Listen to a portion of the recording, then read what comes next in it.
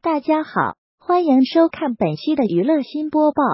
文娱乐酸柠檬由本山传媒、东盛七娱传媒等公司联合出品的电影《兴风作浪》即将上映。这次赵本山没有选择登陆各大院线，而是直接在优酷平台首播。看来这个作品被定义成网络大电影了。之前小沈阳首次导演的电影《猛虫过江》。票房和反响并不是太好，片中也没有多少赵本山的徒弟，所以这次兴风作浪，赵本山非常重视，不仅让宋晓峰和王小虎担当主演，宋小宝和文松也有不少戏份。最关键的是，手下两大王牌美女演员关婷娜和蒋一山在片中分别饰演女一号和女二号，单从演员阵容上还是很吸引人的。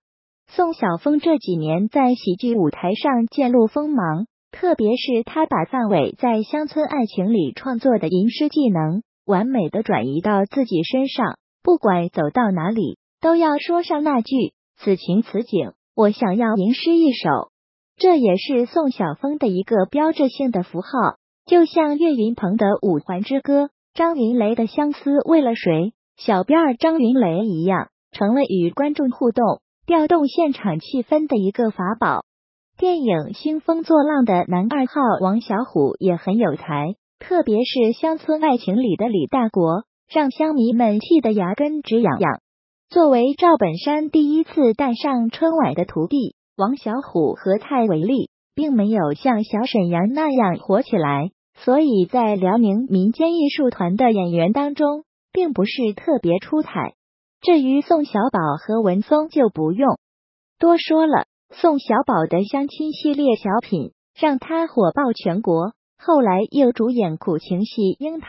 更提高了他的知名度。而文松夺得了《欢乐喜剧人》第三季总冠军之后，自创的少女萌萌拳逗笑无数观众。相信二人能够在影片《兴风作浪》给大家带来更多欢乐。与赵本山以往的农村题材影视剧不同，电影《兴风作浪》完全是一部都市爱情剧，也是赵本山众弟子初次尝试都市恋情。为了给这个电影增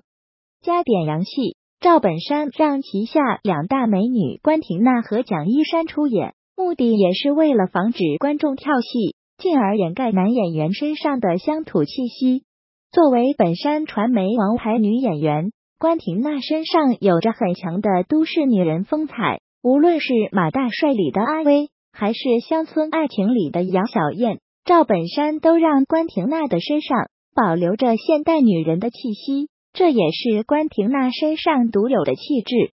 观众们都知道关婷娜的身材特别好，她饰演的阿威、杨小燕和大广播这些角色，赵本山都让她傲人的身材得以展示。这也成了电视剧中一个重要的吸睛点，被很多观众津津乐道。特别是《乡村爱情》里，关婷娜与赵本山那段酒后感情戏，让人看了血脉喷张，成了剧中最重要的一个桥段。这次在《兴风作浪》公布的预告片当中，关婷娜在现好身材，为了考验与老公的忠贞度，增加二人的夫妻感情。关婷娜那段穿着睡袍，在特意制造的朦胧气氛中展示妖媚身材，结果却被老公无视。回想一下，这段戏有些模仿当初赵本山和关婷娜在《乡村爱情》的那个桥段。当然了，很多观众不仅仅是奔着关婷娜去的，另一位女主角蒋一山也是不折不扣的大美女。这次他能不能脱离乡村爱情中那个土气的刘英呢？让我们拭目以待。